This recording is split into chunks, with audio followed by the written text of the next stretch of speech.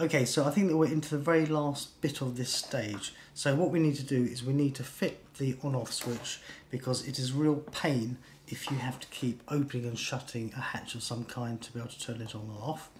So we'll take the wheel off. I'm actually going to remove the wheel arch as well, just so that we can get to everything. Measure out about 12 millimeters along this edge here and try and get it roughly central. Then chop it down until you get to about the line across here.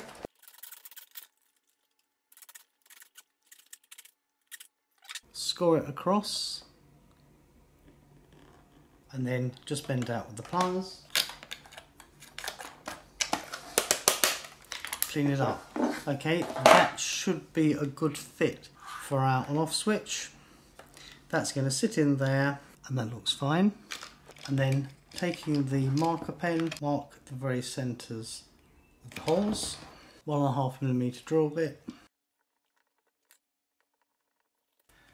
That should be fine. And then secure with a couple of two millimetre bolts. We're going to need to get rid of these two little tabs here.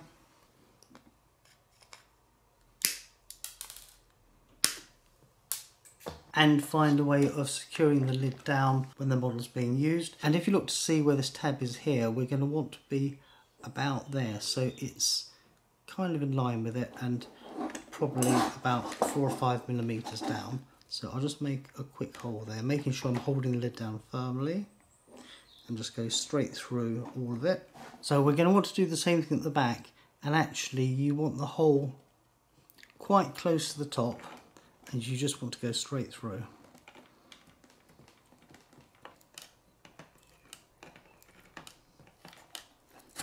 So, so we've ended up with the hole here, hole there, hole there, and a hole there. These holes all need to be enlarged to two and a half millimeters.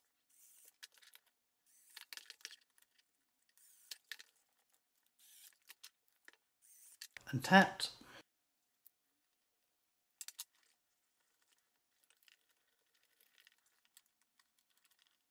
The next thing which I want to do is I want to install the mount for the aerials. So taking the dedicated 3D part printed off for that purpose, some isopropanol alcohol, clean inside there, clean the back of the part, double-sided sticky foam tape, that goes inside there about there. And that sticks. Okay so clip them in there like that uh, as far forward as possible really. What I found with the other one was it was actually better if I didn't have these two wires being parallel to each other. So one of them just bend around like that and then the other one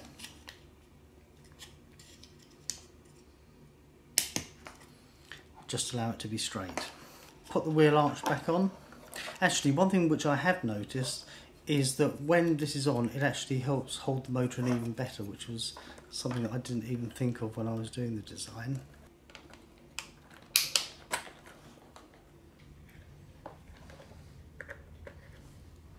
Put the wheel on. And then we're going to need a couple of machine bolts. This one is 12 millimeters this one is 4 millimeters. It's quite handy having this selection. And then the longer one is going to go in the back here. Over time these will loosen up, but having tapped them we've got somewhere to start. With my other one they're actually hand loose now so that I can put the cover on and off without having to use this, but for the first few times I did. And then taking our battery, plug it in, like so.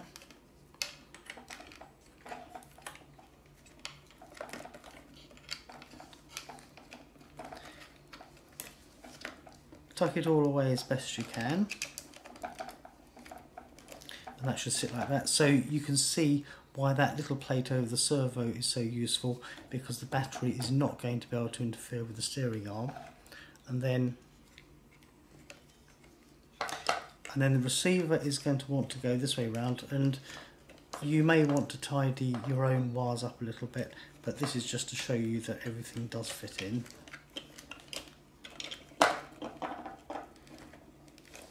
like so.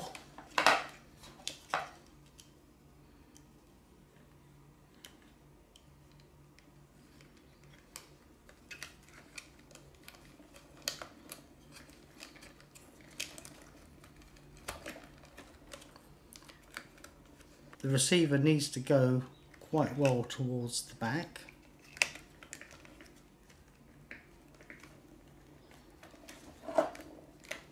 And then with a bit of luck, you can dot the screw at the back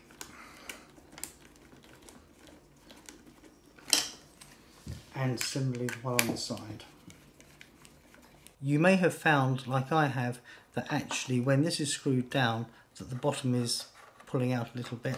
That's very easy to rectify and what we're going to do is just make a small hole with the one and a half millimeter drill bit about there so roughly in the center of this tab and quite close to the top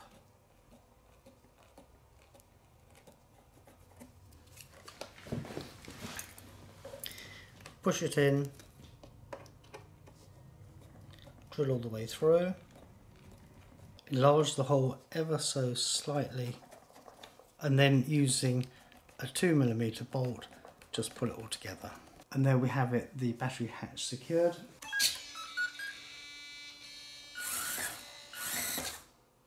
And a quick test confirms that everything is still working fine. Okay, so this fourth build stage is probably the most challenging of the whole lot.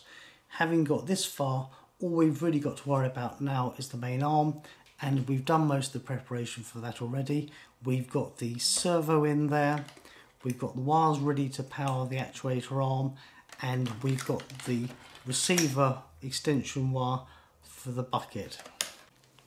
Okay, so if you've managed to stick with it this far, and in particular, if you've managed to build it as far as this, you really are almost there.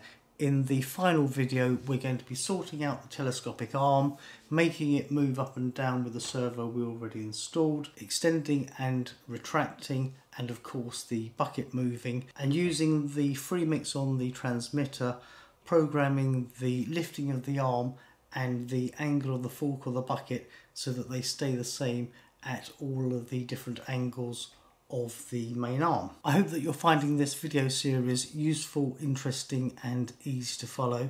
Please feel free to post any comments or questions that you may have and until the next time, thank you very much for watching.